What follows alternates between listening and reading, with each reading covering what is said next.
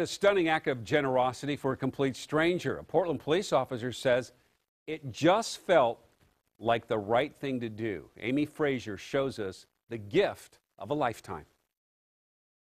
Many police officers will tell you they joined the force to help others. Me, I like driving fast.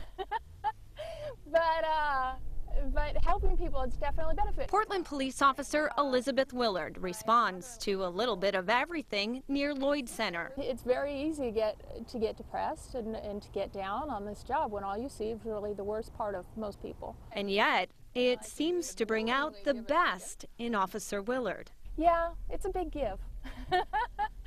it's a big give. That big give is one of her kidneys. Most people are shocked and then they ask me if it's for someone I, I know. The answer is even more stunning. I have absolutely no clue. I will not see them, hear from them, meet them, anything.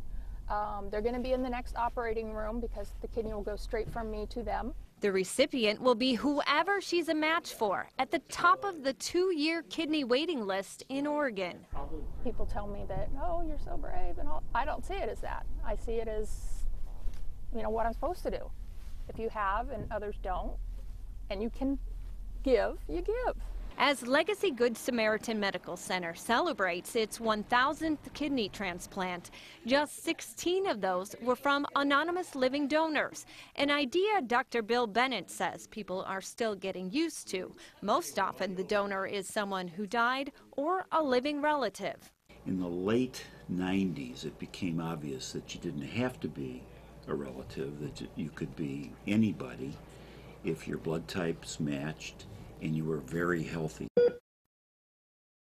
In January, Officer Willard's generous gift became a reality here in the sterile operating room. It was like Christmas morning. If it sounds weird, I was so excited to give away an organ. Surgery in the OR took just a few hours, and doctors say Everything went great. And when Officer Willard woke up in her room, she had a special surprise waiting for her. I had flowers and a very nice card from the recipient, which I'm sure she wrote out ahead of time, um, thanking me.